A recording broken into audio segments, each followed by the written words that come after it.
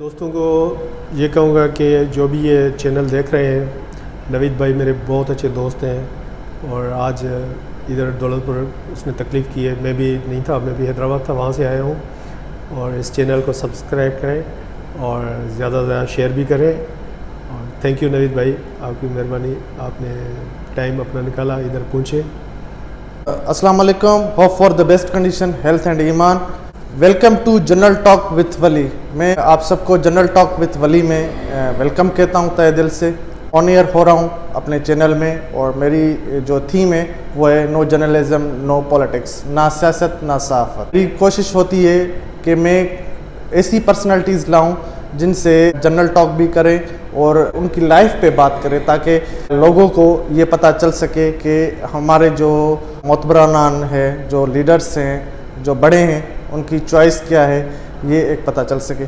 और व्यर्स वैसे मैं एक बात ज़रूर कहता जाऊँगा कि आजकल जो पेंडेमिक माहौल चल रहा है कोरोना वायरस के हिसाब से, उस हिसाब से आजकल जो है बहुत एक तकलीफ़ दह माहौल है, जिसमें पाकिस्तान और हमारा पड़ोसी मुल्क जो है वो भी इसमें, बल्कि पूरी दुनिया इसमें उलझी हुई है।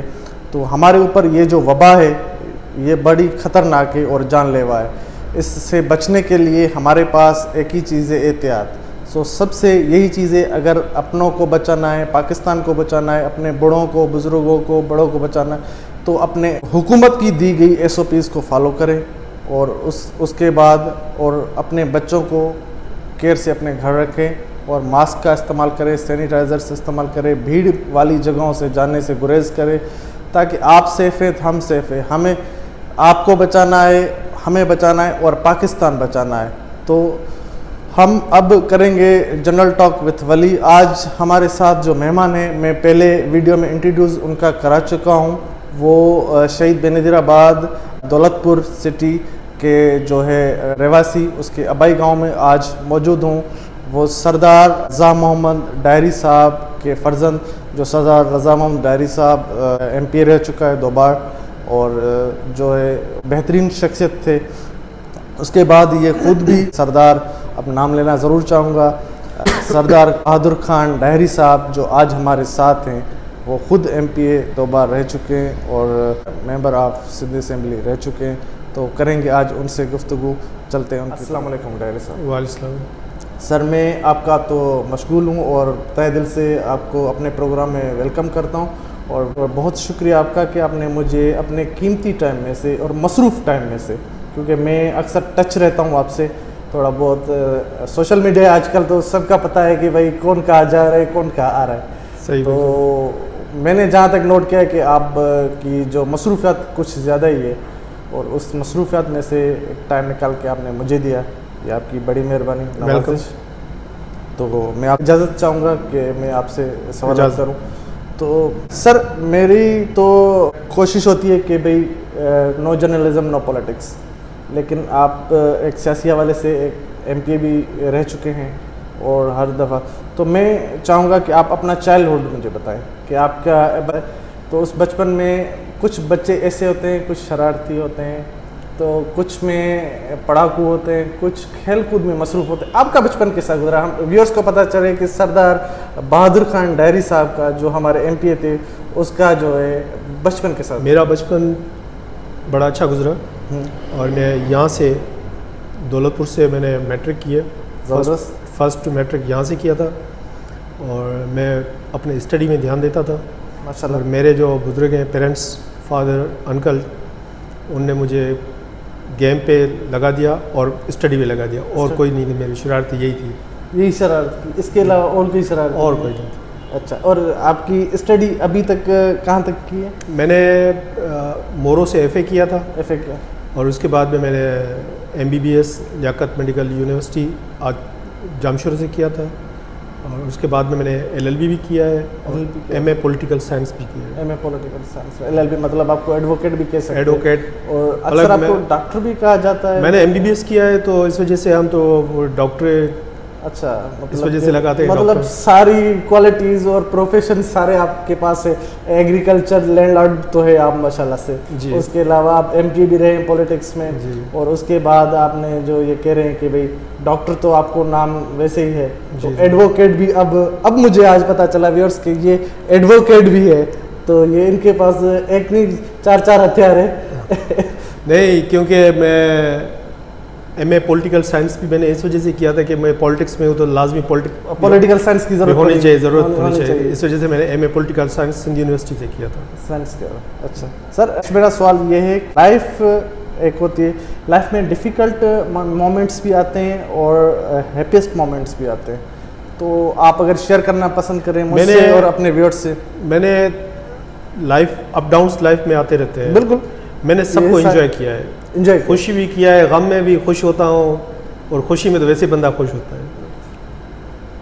तो मेरी तो यही है हॉबी मतलब सारे मतलब आपने हैप्पीएस्ट मोमेंट और डिफ़िकल्ट को भी इंजॉय किया। जो भी मुझे डिफ़िकल्ट होते हैं बल्कि उसको भी मैं इंजॉय के तौर पे यूज़ करता हूँ। कभी मैंने ये अपने आप में टेंशन नहीं लिया है कि मैं किसी प्रॉब्लम में हूँ ये। मैंने कभी नहीं सोचा है। अच्छा। मैं बिल्कुल रिलैक्स रहता relax no tension no tension अक्सर मैं देखता हूँ आपको कि आप हैप्पी मूड में रहते हैं और जरदारी साहब के साथ आपकी क्लोजिंग बिलावल साहब के साथ जो मैं अक्सर देखता रहा हूँ कि उनके साथ मैं मैंने नोट किया है जो मेरा सियासी टीचर जो है वो जरदारी साहब है। आसिफ साहब। आसिफ साहब। मैंने और प्रेसिडेंट आसिफ साहब मुझे बड़ा लाइक भी करता है और मैं भी उसको अपने बड़ों की तरह देखता हूँ। और उसने मुझे ग्रोथ जो है मेरे फादर ने किया और आसिफ साहब ने किया और मेरे चाचा ने किया। अच्छा। ज़बरदस्त ज़बरदस्त डायरी साहब का जो पॉलिटिकली जो टीचर है वो है मोहतरम जनाब हमारी सिंध की बेहतरीन शख्सियत मोहतरम जनाब आसिफ अली जरदारी साहब जो है वो इनके पॉलिटिकल जो है उस्ताद हैं और उन उनके जो शागिर्द के साथ बैठे ये मेरे लिए एक बड़ी जो है खुशनसीबी है कि मैं Thank आपके you. साथ बैठा हूँ. क्वेश्चन ये कि आपने लाइफ में से इम्पोर्टेंट लेसन कौन सा सीखा मैंने ये सीखा कि किसी ह्यूमन बीइंग इंसान ज़ात की मदद करनी चाहिए। हम्म, जो being। प्रॉब्लम में है मुश्किल में है उसका सहारा देना चाहिए। यही सीखा है मैंने। और चैलेंजेस लाइफ में आते हैं। हिस्सा है। चैलेंजेस तो आते हैं तो उनको ओवरकम कैसे करते हैं? ये तो इम्पॉसिबल है कि भाई नहीं आए हो। चैलेंजेस आते हैं। सियासी हवाले से समाजी हवाले से या फैमिली के हवाले से चैलेंजेस आते हैं। मैंने आपको ये बताया कि मैंने लाइफ में अप डाउन दोनों देखे हैं। तो मैंने सबको एंजॉय करता हूँ। मैंने चैलेंजेस को चैलेंज से ही मुकाबला करता हूँ। मैंने कभी मायूसी नहीं दी उस- कि मायूसी उसको सवार नहीं करते अपने उस पर सवार नहीं करते। सही। इम्प्रेस भी हो रहे हैं इनसे क्योंकि मेरी तो एक फ्रेंडशिप भी है इनसे मेरे एक अच्छे दोस्त भी हैं। एम ऑफ़ लाइफ आपका एम ऑफ़ लाइफ क्या था कि मकसद उससे मकसद मुराद ये कि ख्वाहिश होती है कि भाई मैं बड़ा होके डॉक्टर बनूँगा इंजीनियर बनूँगा वैसे तो डॉक्टर तो आप बने। इंजीनियर बनूँगा डॉक्टर बनूँगा या फिर आपकी आप जो अभी हैं यही बनना चाहते थे? एक बच्चे की ख्वाहिश बेसिकली मेरी ख्वाहिश एलएलबी करनी थी। बल्कि मेरा जो चाचा है सरदार जान मोहम्मद उसने मुझे कहा कि नहीं बेटा हमारी फैमिली में डॉक्टर होना चाहिए। और मेरे फादर ने सरदार रजामान डायरी ने भी कहा कि आपको डॉक्टर होना चाहिए हमारी फैमिली में। तो मैंने अपनी लाइन चेंज कर ली और मैट्रिक के बाद में मैंने मेडिकल लाइन अप्लाई की और मैं शुक्र अलहमदिल्ला मेरिट पे एम बी बी एस ज़बरदस्त। मेरिट पे आप मेरिट में उस टाइम पे डिस्ट्रिक्ट एक ही होता था नवाब शाह हाँ, ही दोनों। एक ही होते थे। हाँ। तो मेरी मेरिट लिस्ट पे एडमिशन हुई थी। मेरिट लिस्ट पे ज़बरदस्त। और आप एम पी ए भी रहे तो कितनी दफ़ा एम पी ए रहे? ये व्यूअर्स को पता चले। मैंने मैं 90 93 में फ़र्स्ट टाइम रहा था। और सेकंड टाइम 2013 में रहा था। 2013 13 में रहा था मैं पीपीपी के टिकट पे आया था। पाकिस्तान पीपल्स पार्टी के पाकिस्तान पीपल्स पार्टी के टिकट पे दोनों मतलब अच्छा आपकी पॉलिटिकली शुरू से ही पाकिस्तान पीपल्स पार्टी से? मैं बचपन से लाइक पीपी को करता था। अच्छा मतलब बचपना भी आप शुरू से शुरू से मतलब ही है। भुट्टो साहब और जी। पाकिस्तान पीपल्स पार्टी से गौरवाई करते। सरदार बहादुर खान डायरी साहब जो हमारे साथ आज हमारे साथ बैठे हुए हैं वो शुरू से ही पाकिस्तान पीपल्स पार्टी को लाइक करते हैं और दो दफ़ा एम रह चुके हैं। दो दफ़ा से मुराद के मतलब के ये लास्ट वाला तो पाँच साल तो पूरा होगा लेकिन उसके बाद वाले पाँच साल पीछे वाले पता नहीं कितना टाइम रहे मैं तकरीबन थर्टी सिक्स मंथ था वो पीरियड 26 मंथ मरहूम अब्दुल्ला शाह चीफ मिनिस्टर था। अब्दुल्ला शाह हाँ था चीफ मिनिस्टर उस टाइम पे 1993 में। सही। तो ये 36 ईयर मंथ रही थी। तो आप एक एम पी होके और जब आम लोगों के बीच में जाते हैं तो आपको कैसा फील होता है कि भाई आप एक आम लोगों के बीच में उनके काम करना है ये वो? मुझे बड़ा सुकून आता है जब मैं अपने अवा- अपने गाँव के लोगों के साथ मिलता हूँ तो मुझे उनसे कराची से इधर ज़्यादा सुकून मिलता है। वहाँ से आपको ज़्यादा सुकून मतलब इंसान ज़ात की खिदमत करने में आप ज़्यादा सुकून महसूस करते हैं। और सवाल एक मेरे माइंड में आ रहा है अभी तो मैं आपसे पूछ पूछना चाहूँगा कि कभी आप बहुत ज़्यादा मसरूफ़ हैं? लाइक जस्ट फैमिली के मामले में या किसी भी प्रॉब्लम में आप बहुत मसरूफ़ हैं और किसी गरीब का फ़ोन आ जाता है कि सर आप मेरे साथ ये मसला है ये वो। कि ऐसा हुआ कभी कि आपने सारे काम छोड़ के उसमें लग गए जी हाँ कितने टाइम मुझे कॉल आती हैं रात को भी कॉल आ जाती हैं तो हमारे दरवाजे हमारी पूरी फैमिली के दरवाजे 24 फोर आवर्स खुले होते हैं। और जब भी आता है तो मैं सारे काम छोड़ के पहले उनका काम करता हूँ फिर अपनी लाइफ को देखता हूँ। फिर आप लाइफ को देखते हैं। व्यर्स डायरी साहब हैं सरदार बहादुर खान डायरी साहब वो इंसान ज़ात की खिदमत करना पसंद करते हैं और वैसे भी इंसान ज़ात की खिदमत करना बेस्ट है और इससे सुकून भी मिलता है और इनका कहना भी यही है कि मुझे सुकून मिलता है। तो बिल्कुल ये सही कहते हैं कि इंसान ज़ात की खिदमत करो और खिदमत करने से ही डायरी साहब से ये ज़रूर पूछूँगा कि आपकी फेवरेट पर्सनैलिटी कौन? मेरी फेवरेट पर्सनलिटी आसिफ अली जरदा जी। जरदारी साहब आपकी favourite personality the he man जिसको कहा जाता है the he man he is a brave man इधर ब्रैड मैन मैं तो कहता हूँ कि अभी जो लीडर हैं तो जरदारी साहब हैं बिल्कुल। पाकिस्तान में बिल्कुल और। ये आजकल जो माहौल चल रहा था आपने देखा बीच में तो मैं माइंड में बात आ गई तो मैं कहना ज़रूर चाहूँगा ख़ात्म नबूत पे जो ये इशू चला था कि उसमें जो सियासी समाजी तंजीमें एक तरफ़ हुकूमतें एक तरफ़ लेकिन चारों तरफ़ जो है मर तो बेचारे मुसलमान ही रहे थे। इस पर आपका क्या ख्याल है? देखो हमें हज़रत मोहम्मद मुस्तफ़ा सबसे ज़्यादा वो है। तो हम तो उसके फॉलोअर हैं। ज़ाहिर सी बात है हुजूर पाक हमारे आखिरी नबी हैं। आखिरी नबी। उनके बाद कोई नबी आना नहीं है। बिल्कुल। और उनकी जो है पैरोकारी करना हमारा फ़र्ज़ है। और जब ला इल्लल्लाह मोहम्मद सल्लल्लाहु हमने पढ़ लिया तो ख़ात्म नबूत की जो है हमें जो है हिफाजत करना हमारा फ़र्ज़ बन जाता है। जी। तो ये आजकल हमारे ऊपर जो जैसे कहे कि मोदी हुकूमत थोपी गई है तो उन्होंने ये आके वो कर दिया। बिल्कुल। तो मैं इस हवाले से आपसे पूछना चाह रहा था कि आपका क्या ख्याल है ज़रा ठीक है आपने बताया। लेकिन मैं बीच में व्यूर्स चुलबुले से सवाल करता हूँ अपने मेहमान से, ताकि उनका जहन भी थोड़ा सा फ्रेश हो जाए और जो देखने वाले हैं, उनको भी उनकी चॉइस पता चले। तो मैं doctor advocate Sardar ex M P A मोहतरम जनाब डॉक्टर बहादुर डायरी साहब से ये पूछूँगा कि आप मूवी देखना पसंद करते हैं? मैं मूवी नहीं मैं कम देखता हूँ मैं न्यूज़ ज़्यादा देखता हूँ। अच्छा। और बेसिकली मैं अपने आप को डॉक्टरी कहलाता हूँ एडवोकेट नहीं कहलाता हूँ डॉक्टरी कहलाता हूँ। लेकिन मुझे पता चला तो इस वजह से मैंने उस हिसाब से क्योंकि मेरा एक प्रोग्राम है तो चुलबुला जब कह दिया तो बात ख़त्म हो गई। सही है। इस हिसाब से मैंने वो आपके जो सारे तखलुस है वो मिला के मैं न्यूज़ चैनल्स ज़्यादा देखता हूँ। अच्छा न्यूज़ को ज़्यादा आप करते हैं। मूवीज़ कभी देखी नहीं? मूवी देखता हूँ। Hollywood Bollywood Bollywood Bollywood Bollywood में कोई फेवरेट एक्टर मेरा फेवरेट एक्टर कोई नहीं रहा है। जो भी मूवी तो जो भी मूवी आती है वो देख लेता हूँ बस कोई फेवरेट नहीं है। एक सवाल आया जब जरदारी साहब की बात आई है तो जरदारी साहब से भी किसी ने सवाल पूछा था कभी आपका दिल टूटा? मेरा तो दो तीन मरतबा टूटा है। जरदारी साहब ने जवाब दिया था कि हम ऐसा दिल रखते ही नहीं है। तो मैं समझा कि शायद आप भी उनके शागिर्द हैं तो कोई ऐसा ही जवाब देंगे? दिल वो तो वो हमारा आसिफ साहब है उसकी तो दिल वो बड़ा बड़ी दिल है। बड़े दिल है। हम हमारी दिल भी है। मतलब आपने जो क्वेश्चन किया उसकी बात मैं कह रहा हूँ कि कभी टूटता है कभी बज भी जाता है। कभी बन भी जाता है सही। अच्छा और म्यूज़िक प्ले करते हैं आप? व्हाट म्यूज़िक म्यूज़िक कभी कभी सुन लेते हैं। कभी कभी कभी कभी सुन लेते हैं। मतलब रूटीन में आपके म्यूज़िक रूटीन में नहीं है। अच्छा। ये जैसे आप सफ़र करते हैं इस पर म्यूज़िक वगैरह? बस कभी कभी सुन लेते हैं म्यूज़िक अच्छा। और उसके अलावा आपको खाने में क्या पसंद है? जो भी मिल जाता है खा लेते हैं। मिल कोई शौक नहीं है। मिल जाता है शायद मकसद? जो भी घर पे पका होता है वो खा लेते हैं। मतलब ये तो कोई ज़्यादा मुझे शामी कबाब अच्छा शामी कबाब आपको पसंद जी। अच्छा। जैसे मैंने मटन मटन पसंद है।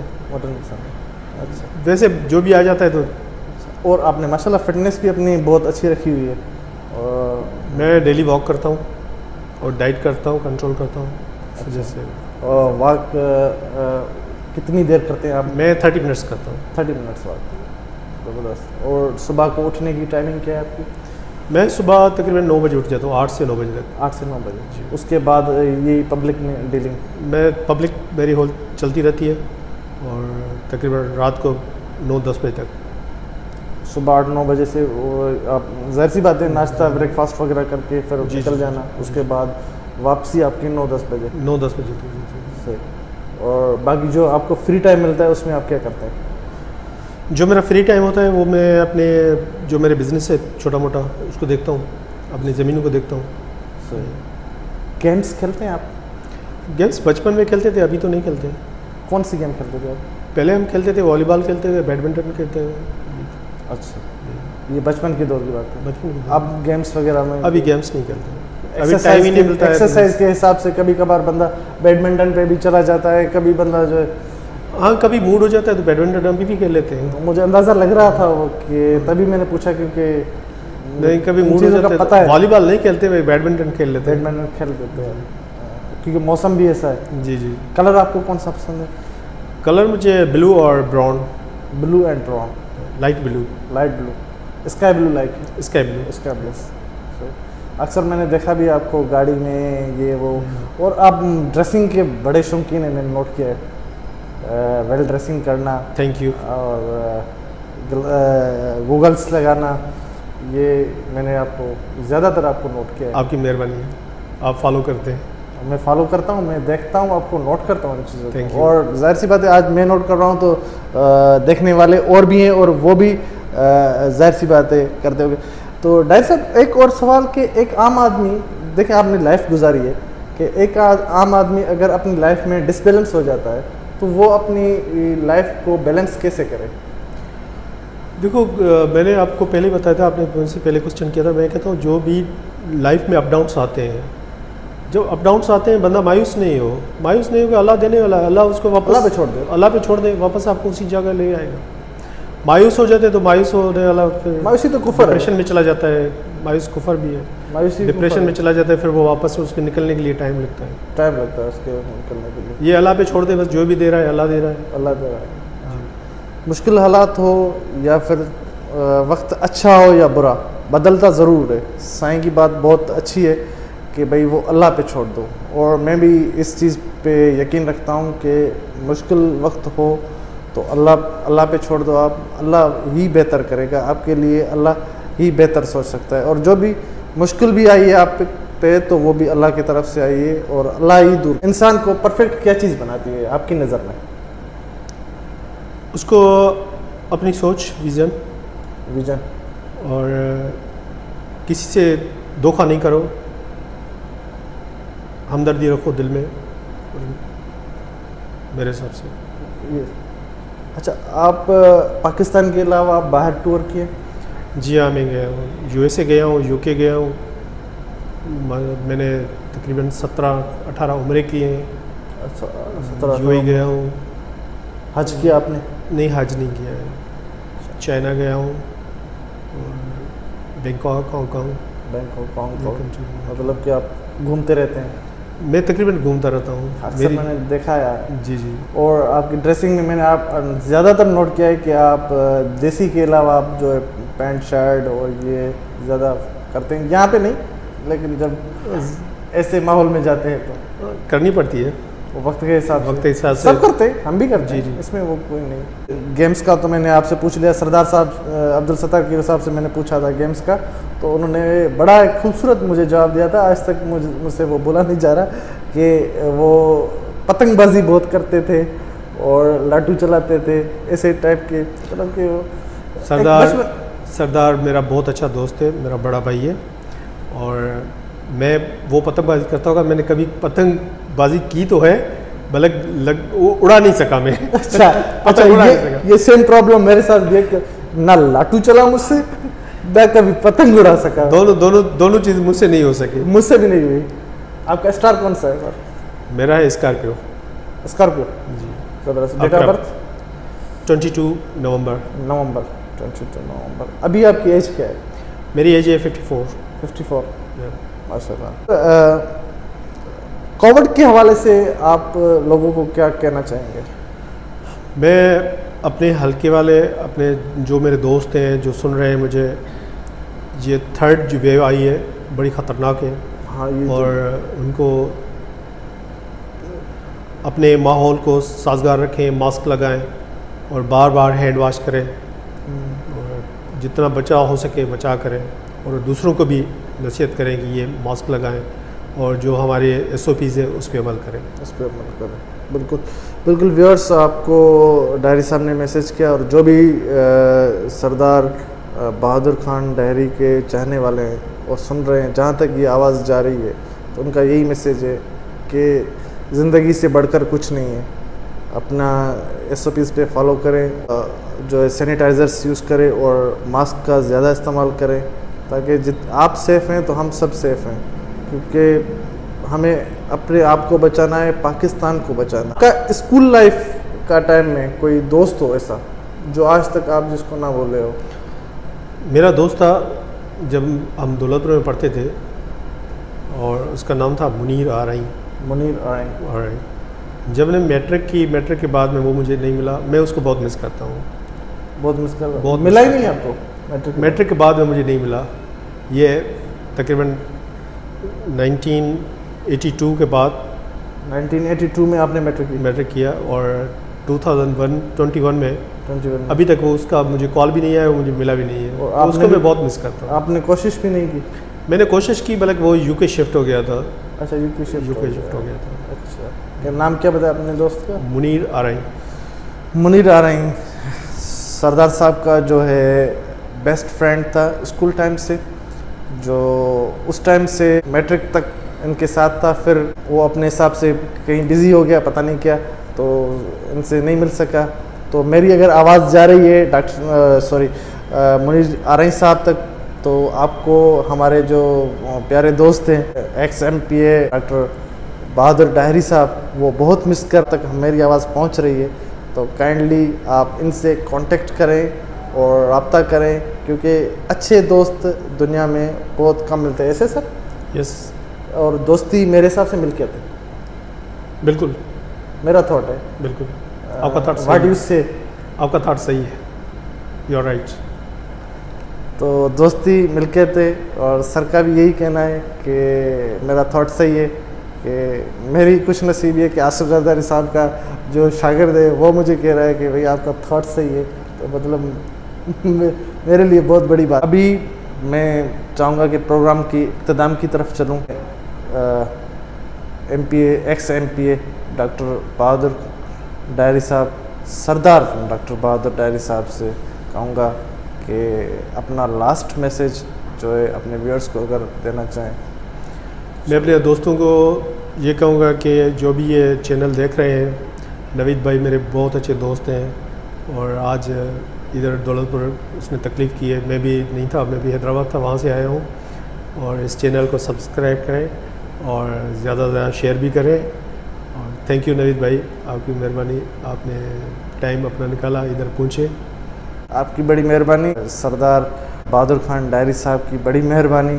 सर, आपने मुश्किल टाइम में मुझे ये टाइम दिया क्योंकि ये बड़ा कठिन दौर है। एक तो रमज़ानुल मुबारक का महीना चल रहा है और उसके अलावा जो है एक कोविड का माहौल चल रहा है, उसमें टाइम निकालना और मुझे इतनी रिस्पेक्ट देना, मैं ज़रूर आपका इस, इसके लिए मशगूल हूँ टाइम दिया।